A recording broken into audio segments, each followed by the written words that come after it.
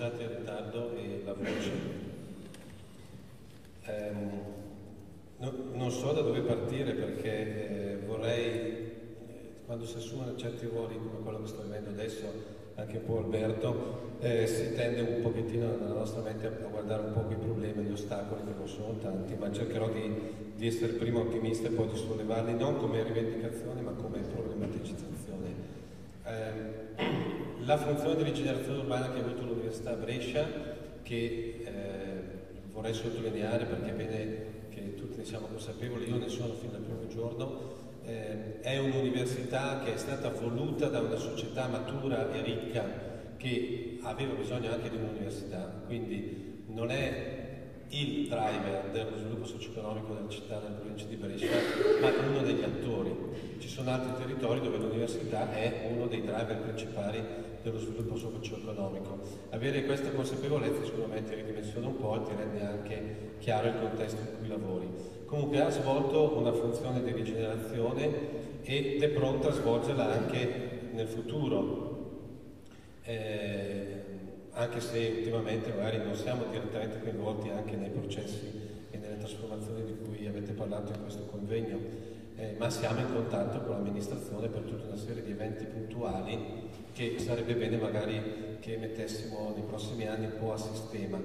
Eh, dico una cosa buona, quindi siamo ancora impegnati su questo versante, una difficoltà che tocca anche il tema della rigenerazione. Eh, io credo che l'Italia si stia suicidando e sia sul cornicione eh, di burocrazia, tale per cui eh, le operazioni per, con cui Brescia ha potuto rigenerare, l'università scusate, ha potuto rigenerare pezzi della città vent'anni fa, oggi diventano molto difficili. Faccio un esempio banale, ma che per i tecnici credo sia molto chiaro da capire, il bando che fra l'altro l'UDF ha sfruttato anni fa e che volevo sfruttare anch'io quest'anno, il piccolo finanziamento del cofinanziamento del Ministero dell'Università per creare luoghi di residenza e la residenza degli studenti in città, sappiamo che rispetto alla presenza dell'università nella città è uno dei fattori più importanti perché se la città è, eh, come sono gli istituti superiori prevalentemente, un luogo dove si viene di giorno e si va a casa la sera, difficilmente farà quel salto di qualità di essere città universitaria, no? come molti evocano e quasi ci chiedono un certo desiderio di diventare. Bene, le residenze, il bando per le residenze esce, sta aperto tre mesi e devi presentare un progetto definitivo. Secondo le gare e le necessità che ci sono burocratiche, in tre mesi l'ufficio tecnico del nostro Ateneo semmai riesce a scrivere il bando per poi metterlo, per poi aspettare che qualcuno lo vinca e per poi fare, fare il progetto. E quindi passano tre anni, due anni, un anno e mezzo. Quindi oggi eh, stiamo, ci stiamo suicidando di burocrazia. Se vogliamo fare rigenerazione, se vogliamo cambiare la nostra città, dobbiamo capire una volta per tutte che con questo sistema di regole che continuiamo a darci per motivazioni che a me per lo più sono oscure o sono miranti ad un effetto che poi non genera, ne genera un altro, perverso, eh, non riusciremo a far partire tante operazioni che in altri paesi invece si fanno. Eh, parlavi di Londra, bisogna vedere anche perché si trasforma in questo modo la città di Londra, sono investimenti di grandi capitali, non sono certo residenze per universitari, diritto allo studio 200 euro al mese, questi sono a 30 km fuori Londra, sono verso Gatwick e da queste altre parti. Eh, e qui il secondo tema, la, e qui è più urbanistica che università. La rigenerazione si muove, a parte questi bellissimi esempi di, di contenitori che l'amministrazione pubblica può riutilizzare, ma la rigenerazione fatta dai privati si muove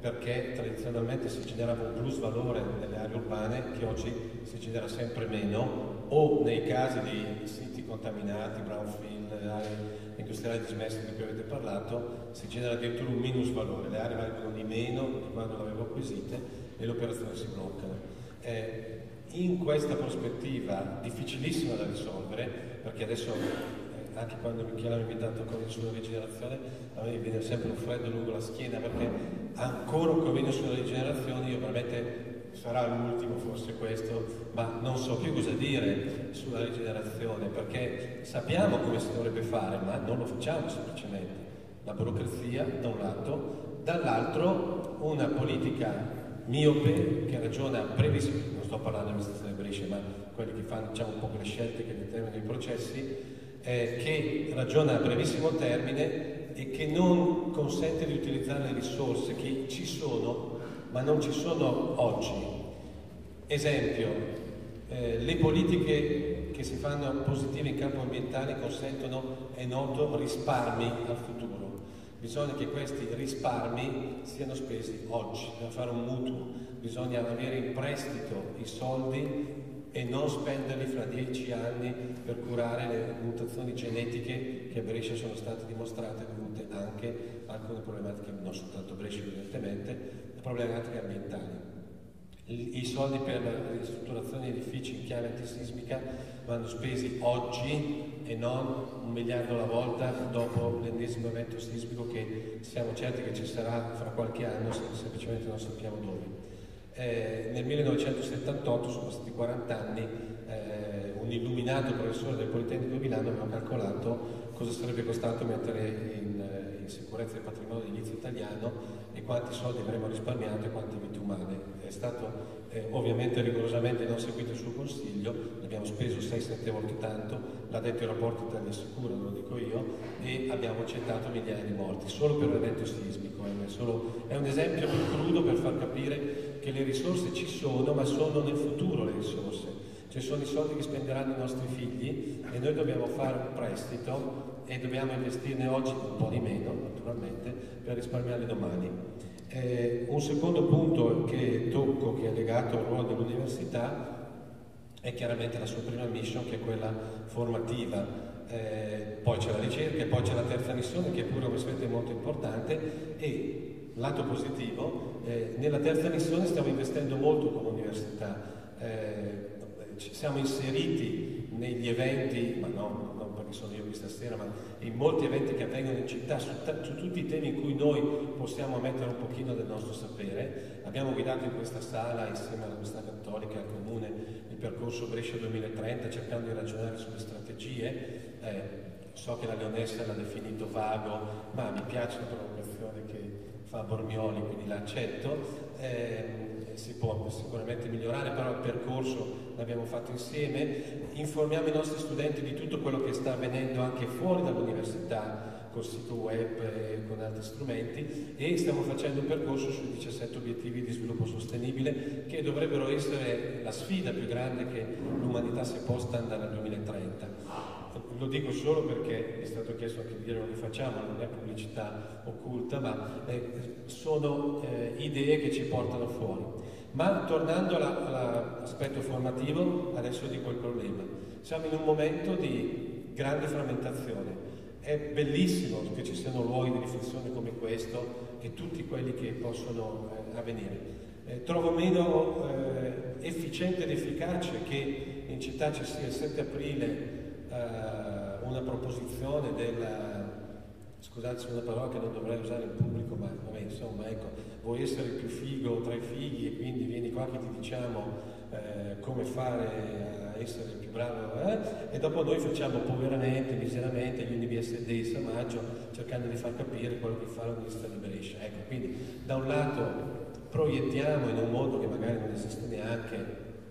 l'anno scorso a pagamento eh, i figli di una certa classe, sono molto franco, come vedete, poi se vuole querelarmi può farlo, e, e, poi noi poveramente facciamo gli Universe Days. Ecco, questo è uno scordinamento che in una città media si paga molto di più di quello che si paga in una città grande. Eh, Brescia ha tantissime, anche grazie al Comune, ha avuto tantissime iniziative culturali in questi anni,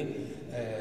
eh, non c'è coordinamento. Io stesso giovedì scorso parlavo in una sede, in un'altra parlava persona molto più autorevole di me, Enrico Giovannini, esattamente in contemporanea. Sprechiamo occasioni culturali in questa città e con uno smartphone e un'agenda condivisa in dieci soggetti riusciremo a evitare la sovrapposizione. Ma la formazione ha anche altri problemi più profondi lo dico perché colloquio con il mio ordine professionale, quello degli ingegneri a livello nazionale, siamo in un momento di bassa di coordinamento tra l'università e la formazione permanente, con elementi, con, che ha sfiorato anche momenti drammatici. Eh, non ci stiamo coordinando nella filiera formativa,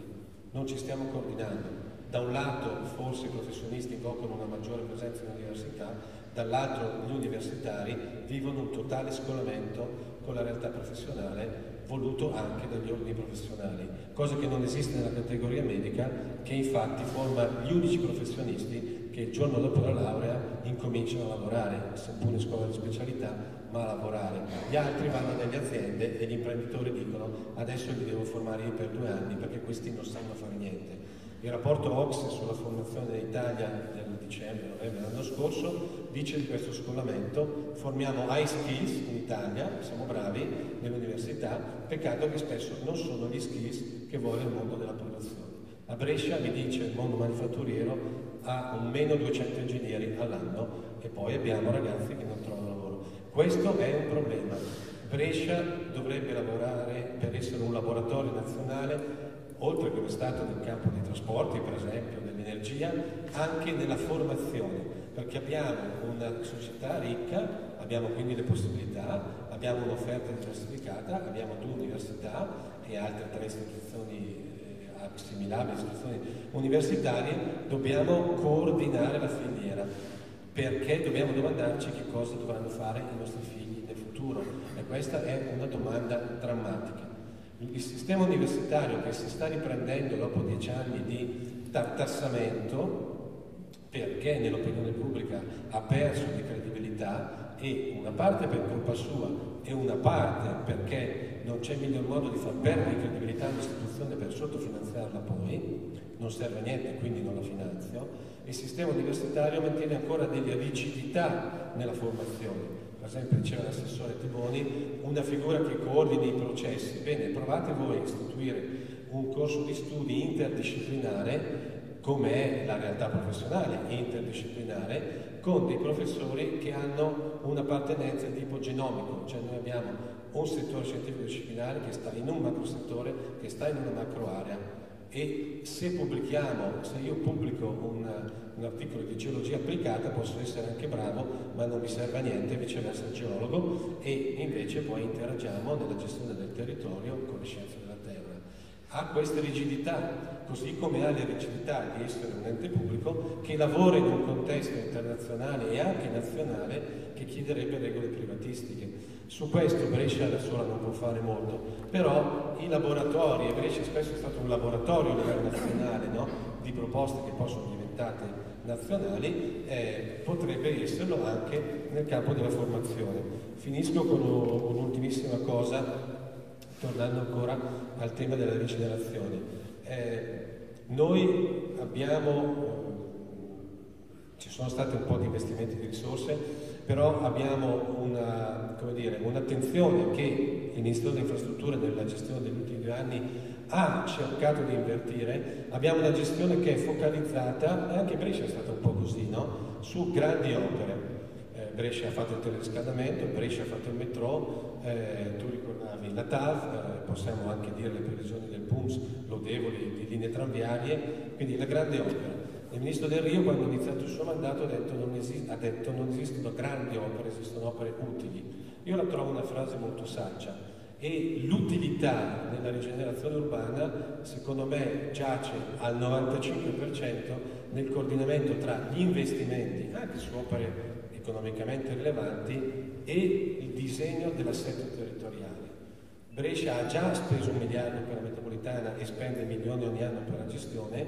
eh, questo è uno dei driver non più cancellabili nel disegno dello sviluppo urbano della città e della rigenerazione. L'università fortunatamente, o per scelta, io credo più per scelta che fortunatamente, sta con i suoi edifici sull'asse della metropolitana.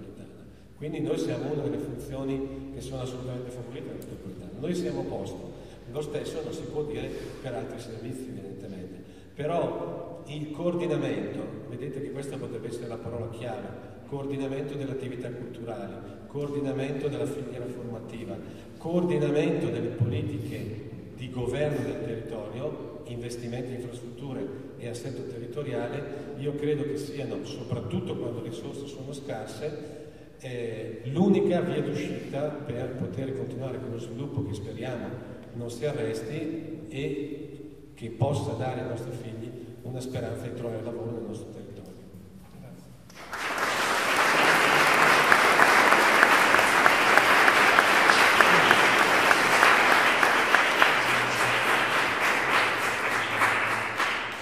professore anche per questo bagno di realismo a cui lei ci ha costretto, perché noi nel corso del convegno abbiamo sentito molte, eh, descrivere molte buone pratiche, poi c'è il rischio che dalle, dalle buone pratiche si passi a una visione ideale che magari non corrisponde alla, alla quotidianità, quindi i problemi che lei ha evocato di eh, rigidità nella regolamentazione, di scarsità delle risorse e di rigidità nella strutturare percorsi formativi mi sembra che aprano, aprano gli occhi o comunque ricordino a tutti le complessità verso le quali andiamo e, e, con le quali anzi dobbiamo confrontarci quotidianamente. Sono temi che credo sollecitino anche il nostro altro interlocutore che è il professor Alberto Ferlenga, architetto, ma qui come rettore dell'Università UAV di Venezia, scusate ho mangiato un po' di parole, dicevo che i temi eh, sollecitati da, sollevati dal professor Tira credo che sollecitino anche il professor Alberto Ferlenga che ha anche un altro titolo, un altro merito, mi permetto di dirlo, che è un po' il papà di questo convegno. Lui è membro del comitato scientifico quindi ha, ha dato un grosso contributo all'ideazione di questo convegno, poi non a caso abbiamo sentito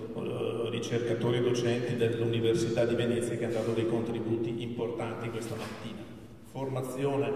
li state formando i nuovi, i nuovi progettisti eh, preparati per la rigenerazione oppure prevalgono i temi e le criticità che sollevava il professor Tiro?